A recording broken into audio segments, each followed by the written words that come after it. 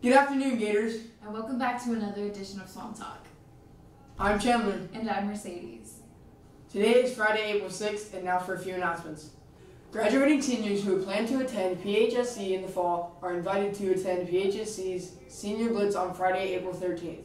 You must sign up in advance and receive permission forms from Ms. Cologne in room 210 or in Student Services. Attention seniors. The last day to complete online courses is April 27th. There will be no exceptions or extensions, so make sure you go online and complete any courses that you have left. The LOLHS annual art show is April 10th and 11th in the mini theater during the school day.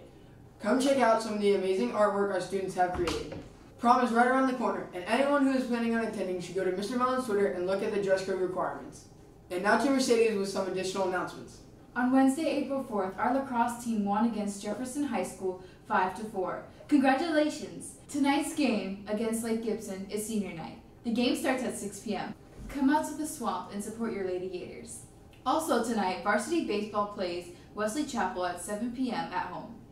Tomorrow, the track team is at Cypress Creek for the conference championships. First event starts at 11 a.m.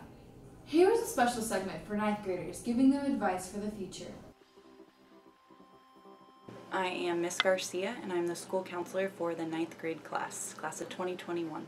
So, the advice that I'll give to freshmen for finishing out the school year is to uh, keep up your grades. Your grades start and, and your GPA starts this year. So it's very, very important that you keep your grades up and you start strong because it's really hard to build back that GPA up. Um, if you're starting out really low, you want to make sure you're getting the season higher because you need that 2.0 for graduation. It's really, really important that if you're struggling, that you come see myself or you go see Miss Campbell down in the media. We are your team. You can also see Miss Leeper. She's your assistant principal. Other advice that I can give to other classes, 10th, 11th, and 12th, is really the same thing. You want to make sure that you're seeking out help when you need it and you're communicating with your teachers and your school counselor because those are your rock. Those are the people that you're going to turn to when you are struggling or you need help because you really want to make sure you have all those graduation requirements and all of uh, that GPA of that 2.0 in order to graduate and move on and do something great with your life. Um, for testing, I would say make sure you um, eat a good breakfast, you use some testing strategy techniques, deep breathing, positive self-talk, you can do this. Um, the testing is going to be starting late April for the 9th and 10th graders. Um, you want to make sure that you're taking all of these tests seriously. Uh, the Algebra 1 and the FSA in 10th grade is the two that count for graduation. The other EOCs uh, that are worth 30% of your final grade would be geometry, um, U.S. history, biology, and that Algebra 1 count as 30% of your final grade. So you want to make sure you're going in there with your head on straight, you take it really seriously, and you do really well, which we know you will. Now to Jacob Brown with Short Sports.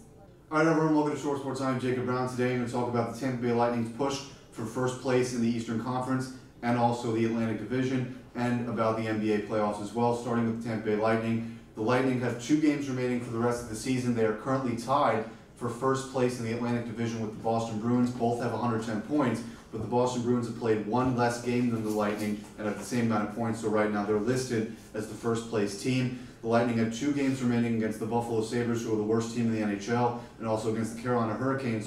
I think the Lightning have a legitimate chance to win these two games. If they don't, then they're essentially giving up first place. Now moving on to the NBA, the Toronto Raptors have a three-game lead over the Boston Celtics and an eight-game lead over the Cleveland Cavaliers and Philadelphia 76ers for first place in the Eastern Conference. Look for that to remain the same, but in the playoffs, that's all going to change because we all still believe that LeBron is going to go to his eighth straight NBA Finals. Then moving on to the Western Conference, the Houston Rockets have a six-game lead over the elite Golden State Warriors. I think if Steph Curry's healthy, the Rockets will still beat the Golden State Warriors in the Western Conference Final later this summer. And for this edition of Short Sports, I'm Jacob Brown, and we'll see you next time. Also, we want to wish a happy 84th birthday to Mr. Payne. Hope you had a great day. That's all for today, Gators. Tune in next time for another edition of Swamp Talk. And make sure to follow us on Twitter for more updates.